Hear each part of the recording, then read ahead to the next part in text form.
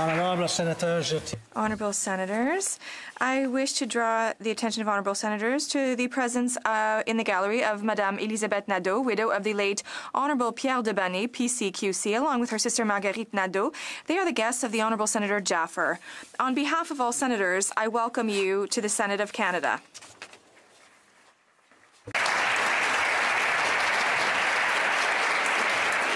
Senator Jaffer.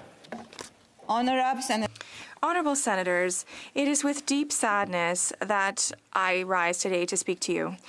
On January 9th, our former colleague and my friend, Senator Pierre de Bané, passed away after over 45 years of parliamentary service. He is survived by his wife, Elisabeth Nadeau, and his uh, sister in law, Marguerite Nadeau. They honor us with their presence here today.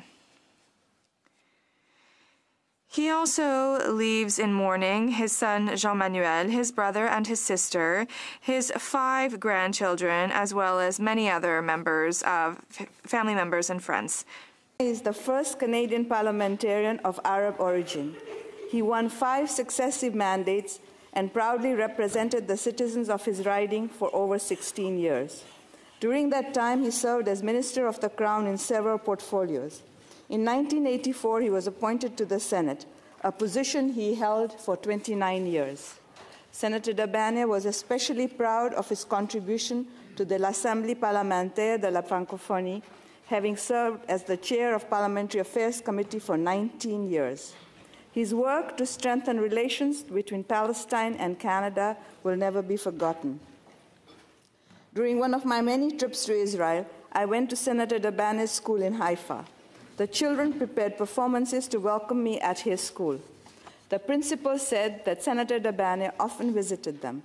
He also said that at a young age they knew Senator de Bané would always work to improve people's lives and reach great heights.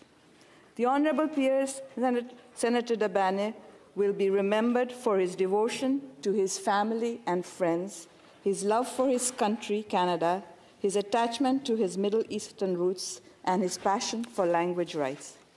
Senator de Bané was my mentor, my teacher, and my dear friend. When I first became senator, Senator de Bané said to me, and I quote, Never be fearful of standing alone for what you believe in, but be fearful of not standing up for what you believe in. Honorable senators, the heavens have gained a new angel. Pierre, you have battled so bravely. May you continue to share that courage and strength onto all of us from above. You're in our thoughts and prayers always. We will miss you dearly. Now rest in peace, my friend.